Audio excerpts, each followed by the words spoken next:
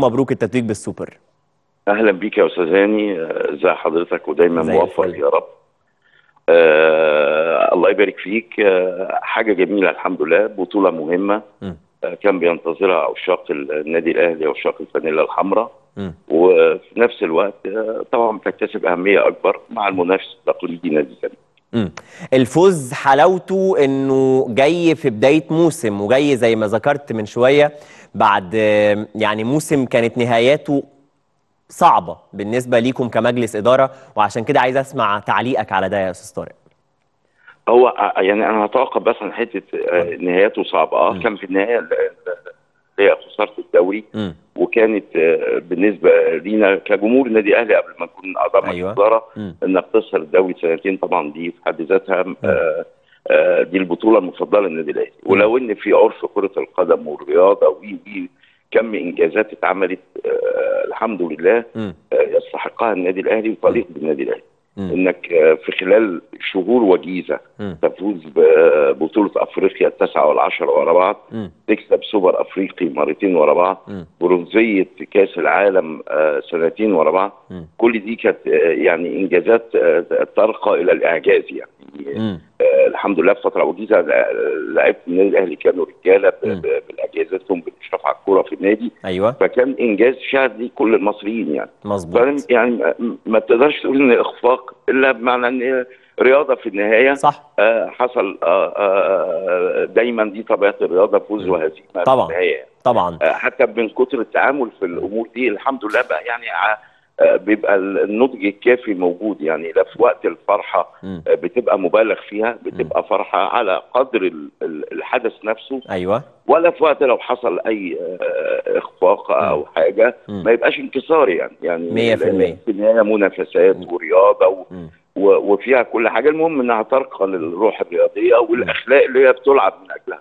مظبوط. يعني بالكلام عن عن أستاذ طارق أنديل يعني حضرتك مش كعضو مجلس إدارة بس لكن كمشجع أهلاوي لا تترك رحلة إلا أو رحلة تحتاج الدعم إلا وأنت فيها سواء بقى كانت رحلة عربية رحلة محلية رحلة قارية. فكلمني عن الأجواء اللي عاصرتها بالأمس حتى شاهدت مراسم التتويج بالنسبة لفريقك الأهلي يا أستاذ طارق. يعني الروح اللي أنا فيها موجود فيها كل أعضاء مجلس الاداره طبعا النادي الأهلي. لأن في النهايه زي ما بقول لحضرتك إحنا قبل ما نكون اعضاء مجلس الاداره فاحنا. مشجعين أيوه يعني وده كان دايما الحمد لله يعني ال- الانتخابات اللي بننزلها تحت اسم قائمة كابتن محمود الخطيب. آه، كابتن محمود رمز من رموز النادي الأهلي آه، أسطورة كرة القدم قبل العمل الإداري يعني فالحمد لله يعني بيطغى على المجلس روح المشجعين.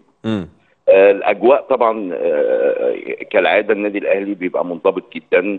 آه، كل واحد عارف اختصاصاته إيه. آه، آه، أنا سافرت كان يوم الاثنين كان ليا الشرف أنا سافرت برفقة آه، كابتن سمير عدلي كابتن سيد عبد الحفيظ. آه، اللي هو كانوا رايحين الترتيبات الأولى. برضو ده ده بيبقى نوع من الحاجات الحمد لله النادي الأهلي بيحرص عليها قبل ما نروح الفرقة يعني أيوه فشفت كم الحاجات ال- ال- اللي كانت بتتعمل برضو مم. عشان تبقى ال- الأجواء جاهزة لاستقبال الفريق نفسه يعني. يعني من جوه الفندق والقاعة والكلام مع اللجنة المنظمة كل الكلام ده اتعمل في اليوم ده. بحيث لو في أي حاجات فيها قصور تكون الدنيا ماشية تمام وكان حصل فعلا تعاون لحاجات كانت المفروض يتم استكمالها قبل وصول الفريق. آه، وصول الفريق كالعادة برضو آه، النادي الأهلي سواء موجود كل يعني معظم مجلس الاداره موجود مم. آه، متواجد ما بيبقى ال- ال- الدنيا برضو ماشية ليها في حدود الاختصاصات يبقى أيوه رئيس البعثة كان الدكتور محمد شوقي طبعا زميل الفاضل كان برضو يعني قمة التعاون مع كل أجواء ال- ال- البعثة نفسها مم. التعاون مع الإخوة الإماراتيين للأمانة يعني آه، بنشكرهم جدا جدا على كم الحفاوة مم. وعلى الاستقبال اللي عملوه وعلى تهيئة ال- ال- الملاعب أول بأول سواء التدريب أو يوم المباراة مم. فكل الكلام ده كان على قدر كبير من التنظيم. ممتاز ممتاز. آه، المكسب طبعا الحمد لله كانت فرحة كبيرة جدا لأنها بطولة وزي ما حضرتك تفضلت لأن برضو على يعني بهارات الكرة المصرية صح إن الحمد لله الأهلي دايما متصدر ومتفوق وبيكون له منافس نادي الزمالك وفي قمة الروح الرياضية مم. فبتبقى برضو ليها فرحة جميلة لا ننكر كلنا هي دي الأجواء الجميلة مم. اللي هي ما دامت لا تخرج عن آه، الروح الرياضية. ولأن كلنا آه، في النهاية طول عمرنا اتربينا على كده يعني أيوة. في في رمضان اللي فات كنا كابتن خطيب كان بيستقبل وكان ليا شرف متواجد فيه آه، آه، الغالي كابتن حسن شحاته رمز من رموز الرياضة في مصر ونادي الزمالك وكان كابتن علي خليل ومجموعة من آه، رموز الكرة وينتموا لنادي الزمالك كانوا جوه قدامى. النادي ده.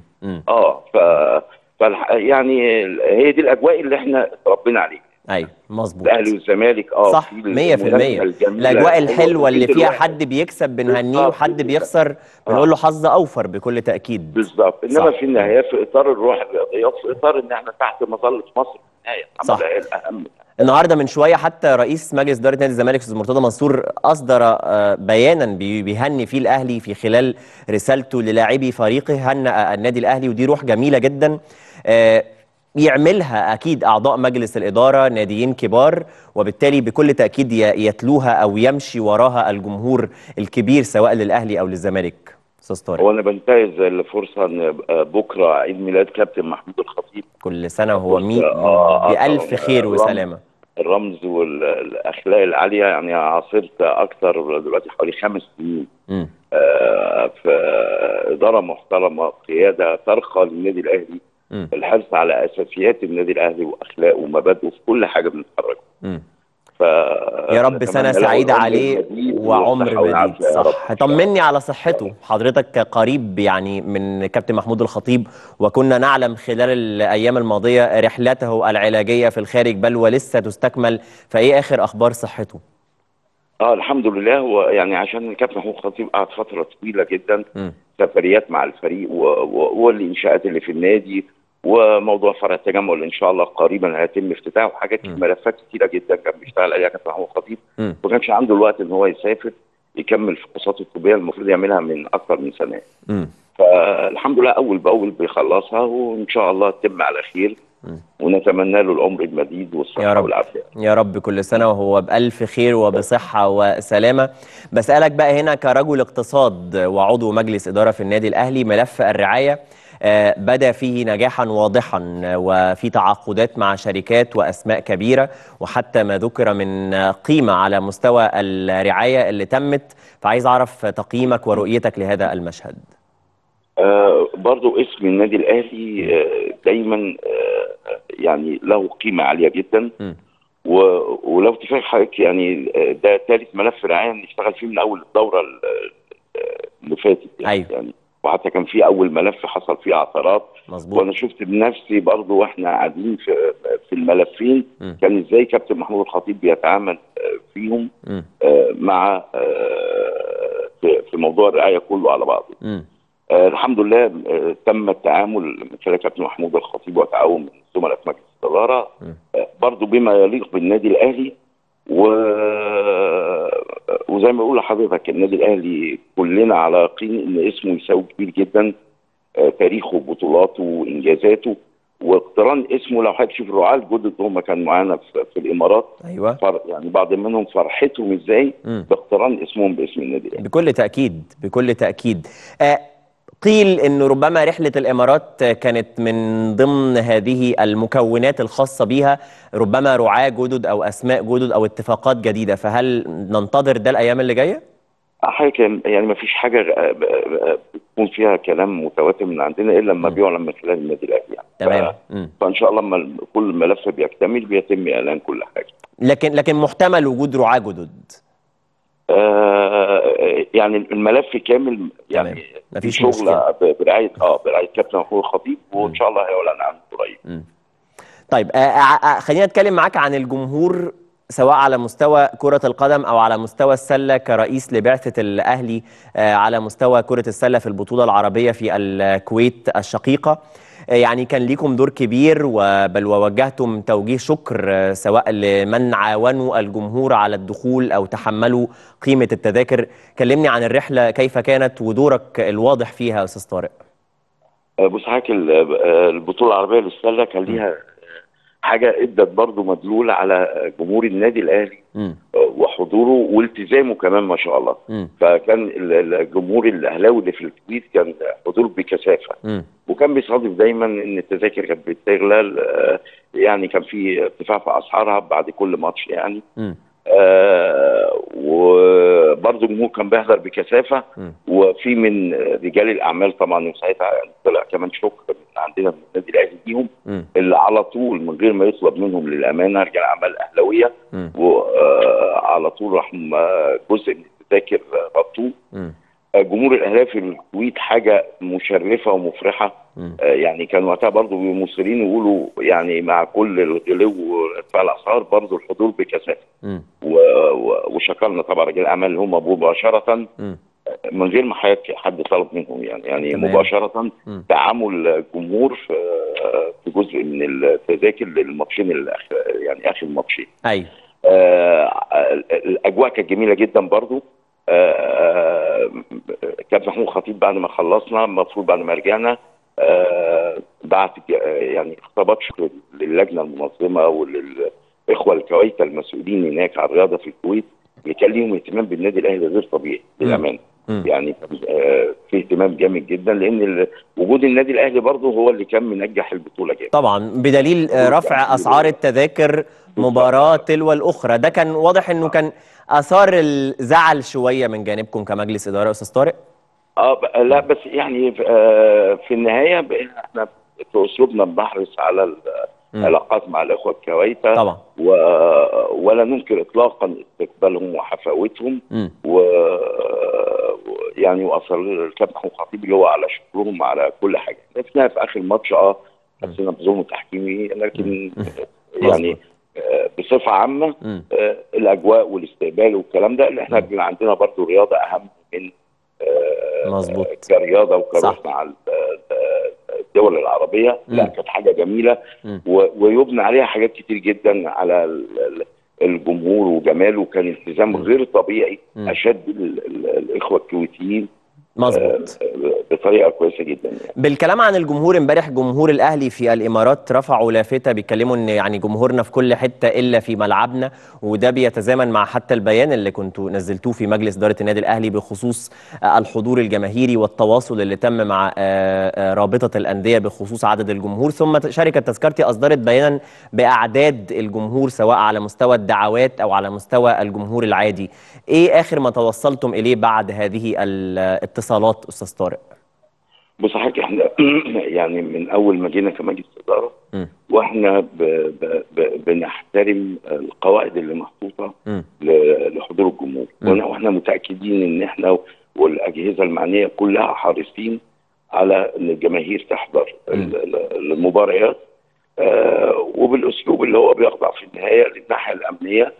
آه كل اللي إحنا طلبناه مؤخرا كان اللي هو الحرص الدائم بس يبقى في على حتة ال- اللي هي توزيع ال- آه، ال- الجماهير يعني في حضور الجماهير نفسها في كل المباريات تبقى. متساوية.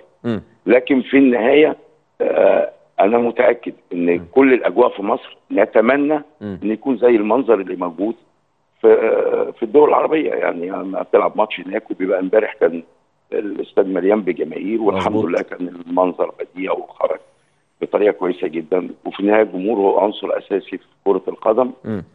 ونتمنى إن شاء الله وكل يعني وكلنا بنحرص برضو مم. على إن ما فيش حد يخرج على النص يعني أيوة.